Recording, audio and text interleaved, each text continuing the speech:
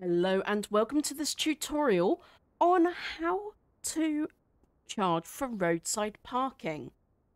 Well, there's a couple of things that I need to teach you. So I've just jumped on a old map and the first thing that you need to do is be able to create districts.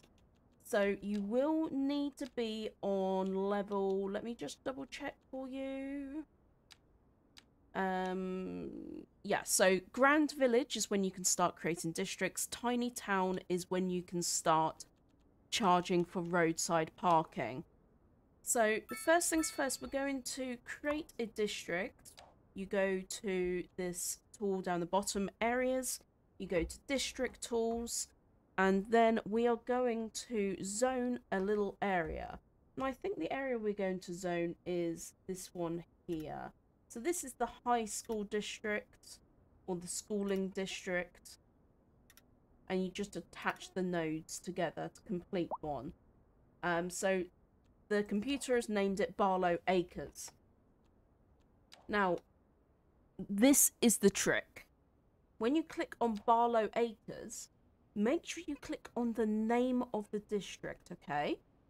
Now you'll see a little bit open up the top here expand parking roadside parking tick and then you can charge as little or as much as you like. But the one thing you do need to do is have road maintenance. Really important to have road maintenance when you do this.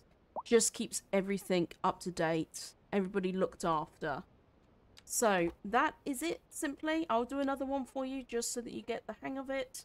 So district tool we'll create another little district. Actually, I'll go up here and do the industrial area. So we'll do up here.